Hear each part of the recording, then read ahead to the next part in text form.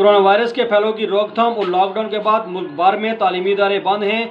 ऐसे में हुकूमत आज़ाद कश्मीर ने अहकाम जारी किए हैं कि वो प्राइवेट अदारे बच्चों से फ़ीस वसूल ना करें। जबकि प्राइवेट एसोसिएशन स्कूल्स ने कहा है कि अगर हम फ़ीस वसूल ना करें तो अपने लवाजमात जो हैं अखराज जो हैं वह कहाँ से पूरे करेंगे?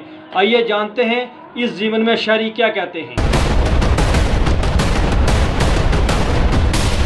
हुकूमत को चाहिए कि स्कूल के जो बिल्डिंग है ना, उनके मालिक हैं उनको जो है ना तीन महीने के किराया छोड़े और हुकूमत ने जो फैसला किया, वो स्कूल के हिसाब से उनको, स्कूल वालों को स्टाफ वालों को ऑन करे। और जो बच्चों की फ़ीस है उसमें जो लेस किया गया है ना गवर्नमेंट की तरफ़ से वो भी लेस करें और स्कूल के जो टीचर्स हैं स्टाफ है उनको तनख्वाह वगैरह उनके टी ए डी ए सब दिए जाए। निज़ाम खुद बंद होया ना जो नहीं वजह थू सब निज़ाम दर बरम होया इस वजह तो असा फीसा को दिया खुद घर बैठे नहीं अगर वैसा निज़ाम चलो या वहाँ में चलना वैसा चलो अस की करा लेकिन साढ़े वसू बाहर है सब निज़ाम। अजकल ना मजदूरी है ना कोई ना प्राइवेट स्कूलों ने बच्चे की फ़ीस नहीं की चाहिए मालकान उन्होंने भी इस चीज़ को सोचना चाहिए कि अगर लॉकडाउन होया इसने वजह बच्चे मुतासर हैं बच्चे ने वालदेन मुतासर हैं स्कूल ने टीचर मुतासर हैं तो उन्होंने भी अपने किराए ने रिलीफ देना स्कूल अगर गवर्नमेंट इनके साथ तावन करे और बाकी इस तरह जो अवामल डिस्टर्ब हुए हैं माशरे के, उनके साथ भी अकोमोडेट करना चाहिए।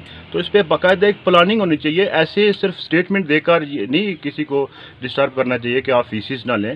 नहीं गिनी चाहिए गवर्नमेंट की पॉलिसी बनानी चाहिए जिसने बारे कि जो टीचर रखे, उन्हें तनख्वाह दें। तालीमी अदारों को फ़ीस नहीं देनी चाहिए हुकूमत की हुकूमत की पॉलिसी को आमल लाना चाहिए और बिल्डिंग मालकान को इसका पाबंद करना चाहिए कि वो कुछ रिलीफ दे स्कूल वालों को।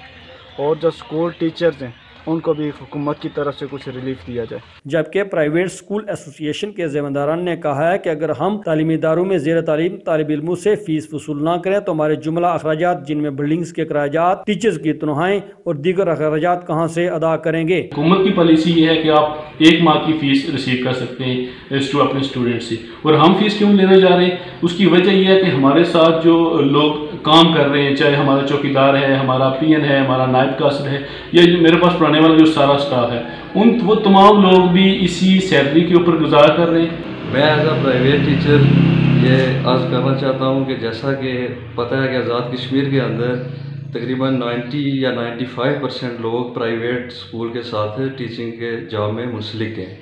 अगर गवर्नमेंट ये ऐलान करती है कि अगर फीसिस ना ली जाए प्राइवेट अदाराजात में तो हम लोग जो है ना, जो अदारे के सरबराह हैं, वो हमें कैसे पे देंगे क्योंकि हमारा निज़ाम घर का इसी तरह चलता है। हुकूमत को चाहिए कि प्राइवेट तालीमी इदारों के साथ मुंसलिक टीचर के लिए खसूसी पैकेज का ऐलान करे या प्राइवेट तालीमी इदारों को फ़ीस वसूल करने की इजाज़त दे, ताकि वो हमें तनहाई अदा कर सकें।